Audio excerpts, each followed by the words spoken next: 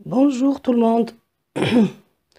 Aujourd'hui, euh, je vais vous présenter un tuto qui vous explique comment lire et réaliser un diagramme ou une grille de tricot très simple, maille à l'endroit et maille à l'envers.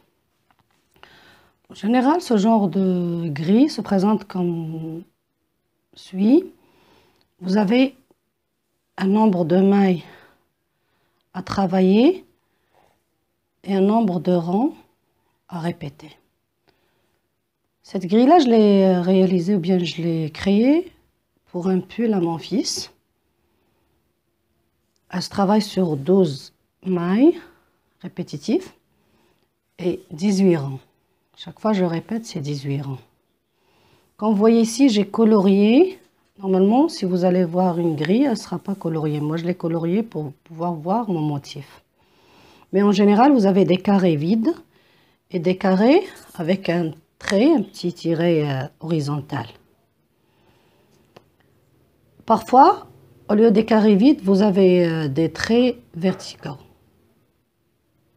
Mais en général, vous trouverez des carrés vides, des carrés avec des traits horizontaux. Comment les travailler? Si vous êtes à l'endroit du travail, d'abord si vous, allez travailler avec des aiguilles normaux, si vous êtes à l'endroit du travail, les carrés vides, vous allez les travailler à l'endroit. Les carrés avec des tirets horizontaux, vous allez les travailler à l'envers. À l'envers du travail, vous allez inverser. Les carrés qui sont avec ces tirets-là horizontaux se travailleront à l'endroit. Et les carrés vides, eux, ils se travaillent à l'envers. Comme ça, quand vous êtes à l'endroit du travail, vous allez avoir le motif tel qu'il se présente.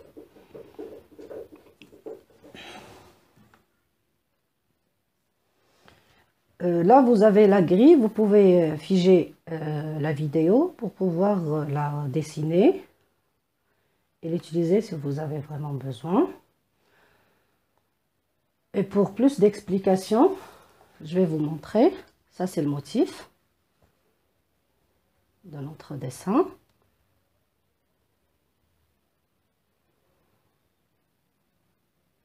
Voilà. Pour plus d'explications, je vais vous montrer comment le réaliser. Là, j'ai déjà fait euh, pas mal de rangs. Je vais presque rabattre, faire les émanchures, mais je vais quand même vous montrer comment faire. Là, je suis au rang 13. Au rang 13, normalement, je dois faire... Le rang 13, c'est le rang à l'endroit. C'est un rang impair, c'est un rang à l'endroit. Sur ce rang-là, normalement, je dois faire 7 mailles à l'endroit. D'abord, je vais faire mes deux mailles là. Ce sont mes seulement deux mailles euh, pour, le, pour les, deux côtés seulement. Et euh, c'était des mailles de plus parce que j'ai fait un nombre de mailles divisible par 12. Il me restait 4 mailles. Et puisque je ne fais pas de, de diminution ou d'augmentation, alors... Euh, préférez avoir un nombre multiple. Mais si vous faites des diminutions, des augmentations, ce n'est pas la peine de faire un nombre multiple, vous allez seulement compter. C'est ce que je fais moi avec les manches. Là, au rang 13, normalement, je dois faire 7 mailles à l'endroit, une à l'envers, une à l'endroit, une à l'envers, une à l'endroit et une à l'envers. Et je répète. Alors,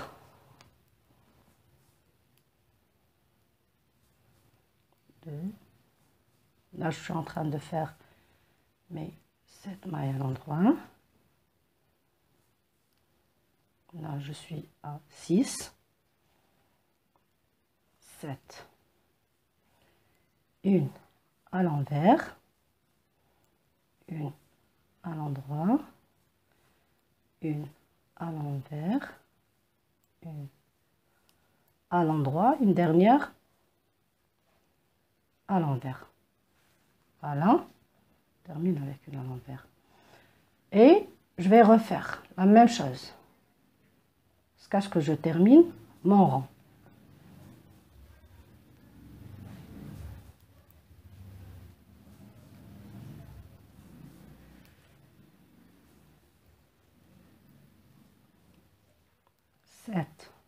à l'endroit, une à l'envers, une à l'endroit, une à l'envers, une à l'endroit et une à l'envers. Ce genre de réalisation a vraiment besoin de précision et de concentration. Parce que si on, loupe une maille, c'est vraiment le motif il va vraiment devenir moche. Et je termine tout le rang et je vous reviens au rang 14 qui est un rang à l'envers. Et voilà, j'ai terminé le 13e rang. Je suis maintenant à l'envers du travail. Je suis au 14e rang. Pour le 14e rang, regardez, j'ai mis le 14 ici, pour travailler de gauche à droite. Là, au 13e, on travaille de droite à gauche. Là, je travaille de gauche à droite. Là, j'ai une maille à l'endroit, une maille à l'envers, une maille à l'endroit, une maille à l'envers, sept mailles à l'endroit et une maille à l'envers. Alors, je vais d'abord faire mes deux mailles des deux côtés.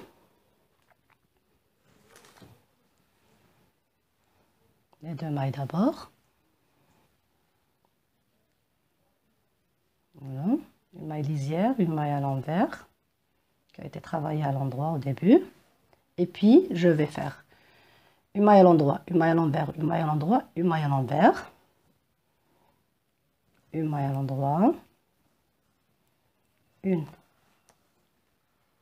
à l'envers, une à l'endroit, une à l'envers, je suis à 4. Et là, 7 mailles à l'endroit.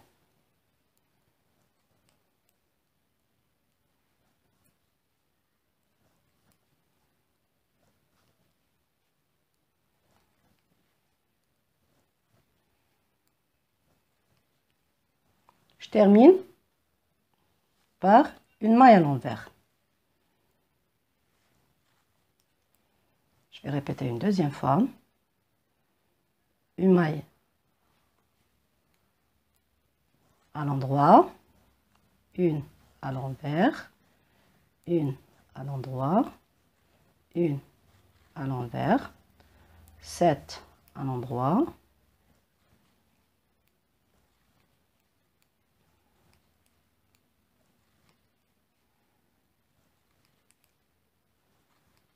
et une à l'envers. Pour vous assurer que vous êtes au bon endroit, ou bien vous faites votre, vos mailles d'une bonne façon, regardez là, j'ai mes mailles en droit sur les mailles en droit du rang précédent. C'est-à-dire c'est le rang blanc si je suis à l'envers. Si je suis à l'endroit du travail, regardez. Ça, c'est mon dessin. Et ça, c'est mon motif. Je m'excuse pour la lumière, mais j'espère que vous voyez bien le motif. C'est un très joli motif. Voilà. Je vous remets là la grille. Vous avez la grille ici. J'espère que vous allez pouvoir la voir. J'espère que le tuto vous a plu. Et je compte faire euh, des tutos du pull. Je suis en train de les filmer, une après l'autre. Dès que je termine, je vais les publier. Et bon courage